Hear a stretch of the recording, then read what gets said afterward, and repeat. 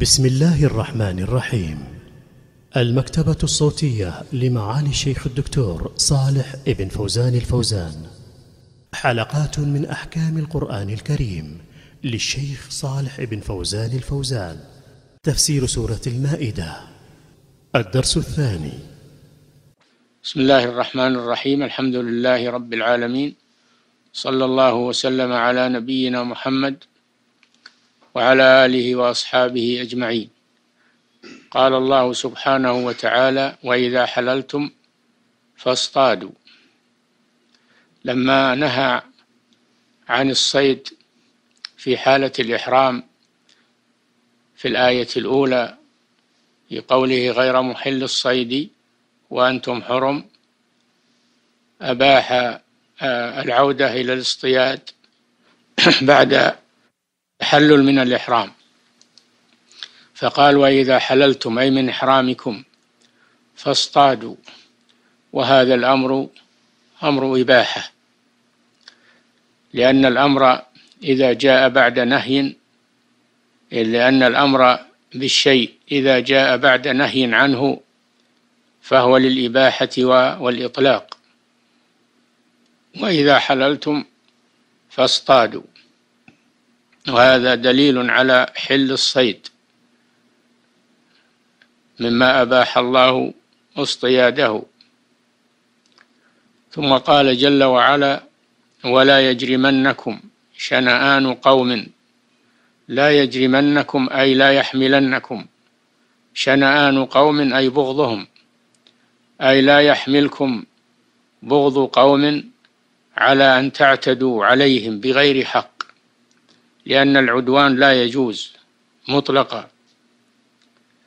قد حرم الله الظلم والبغي والعدوان ولا يجرمنكم شنآن قوم أي لا يحملكم بغضهم بسبب أنهم صدوكم عن المسجد الحرام. وهذا يراد به ما فعله المشركون ما فعله المشركون في الحديبية لما جاء رسول الله صلى الله عليه وسلم وأصحابه معتمرين فصدهم المشركون ومنعوهم من الدخول وأداء العمرة. وهذا لا شك عدوان منهم لأن من قصد البيت للعبادة لا يجوز صده ولا رده ولكن هؤلاء قوم كفرة. ولكن هذا لا يسوغ للمسلمين أن يعتدوا عليهم بغير حق فهذا فيه العدل مع العدو ومع الصديق. وأما القصاص بقدر المظلمة فهذا جائز. قال سبحانه وتعالى وجزاء سيئة سيئة مثلها. ولكن الممنوع الزيادة على القصاص قال تعالى الشهر بالشهر الشهر الحرام بالشهر الحرام والحرمات قصاص فمن اعتدى عليكم فاعتدوا عليه بمثل ما اعتدى عليكم. فالقصاص جائز والعفو مطلوب والزيادة على القصاص محرمة وهي عدوان. ولهذا قال أن صدوكم عن المسجد الحرام أي بسبب صدهم لكم. لا يكون صدهم لكم عن المسجد الحرام مسوغا للاعتداء عليهم. أن صدوكم عن المسجد الحرام أن تعتدوا. ثم قال سبحانه وتعاونوا على البر والتقوى. البر كلمة جامعة تشمل كل خصال الخير والأعمال الصالحة فهي من البر. فأمر الله جل وعلا بفعل البر والإعانة عليه.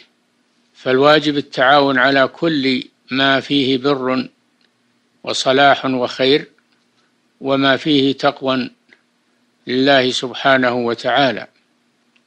والله في عون العبد ما كان العبد في عون أخيه. تعاونوا على البر والتقوى. ولا تعاونوا على الإثم والعدوان. لما أمر الله بالتعاون على البر والتقوى نهى عن التعاون على ضدهما وهو الإثم. فالإثم ضد البر والعدوان ضد التقوى. فلذلك نهى الله عن الإثم والعدوان فعلا أو تعاونا وإعانة لمن فعل هاتين الجريمتين. قال صلى الله عليه وسلم من دعا إلى هدى كان له من الأجر مثل أجور من تبعه. من غير أن ينقص ذلك من أجورهم شيئا. ومن دعا إلى ضلاله كان عليه من الإثم مثل أجور من تبعه إلى يوم القيامة. والمشاركة في الخير خير والمشاركة في الشر شر والعياذ بالله. والدال على الخير كفاعله كما في الأثر. ولا تعاونوا على الإثم والعدوان. ثم كرر الأمر بالتقوى. فقال سبحانه واتقوا الله بفعل أوامره وترك نواهيه لأن ذلك يقيكم من غضبه وعقابه. إن الله شديد العقاب. هذا تعليل للأمر بتقوى الله. في أن من لم يتق الله فإن الله يعاقبه أشد العقاب فليحذر المسلم من ذلك في أن يتهاون في طاعة الله أو يتهاون في تجنب ما حرم الله. فإن جزاء ذلك أن الله يعاقبه. والله جل وعلا شديد العقاب لا نهاية ولا وصف لشدة عقابه سبحانه وتعالى. فليس عقابه بالهين أو بالسهل أو بالذي يمكن الصبر عليه وتحمله فهو شديد العقاب. فليحذر المسلم من عقاب الله سبحانه وتعالى.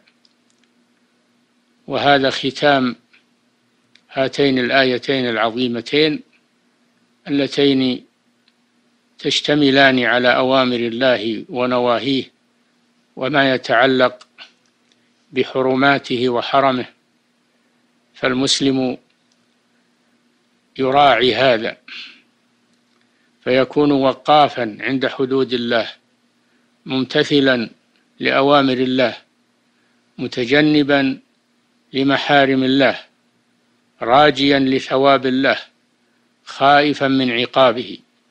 هذا هو المؤمن الحق. ولذلك كرر الله النداء بالإيمان في هاتين الآيتين لأن المؤمنين هم الذين يمتثلون أوامر الله جل وعلا ويجتنبون نواهيه. وإلا فالواجب على جميع الخلق ولكن الكفار لا يمتثلون ينتظرهم العقاب والعذاب والعياذ بالله. بخلاف المؤمنين الكفار لا يخافون لا يخافون عقاب الله ولا يرجون ثوابه. بخلاف المؤمنين فإنهم يخافون عقاب الله ويرجون ثوابه. فأمروا أن يتخذوا الأسباب التي تجلب لهم ثواب الله وتبعد عنهم عقابه سبحانه وتعالى. فمطلع هذه السورة مطلع عظيم وكلها آيات عظيمة وتشريعات حكيمة وخيرات للمسلمين. نسأل الله سبحانه وتعالى أن يرزقنا الاستماع والانتفاع والإخلاص في القول والعمل. صلى الله وسلم على نبينا محمد وعلى آله وأصحابه أجمعين.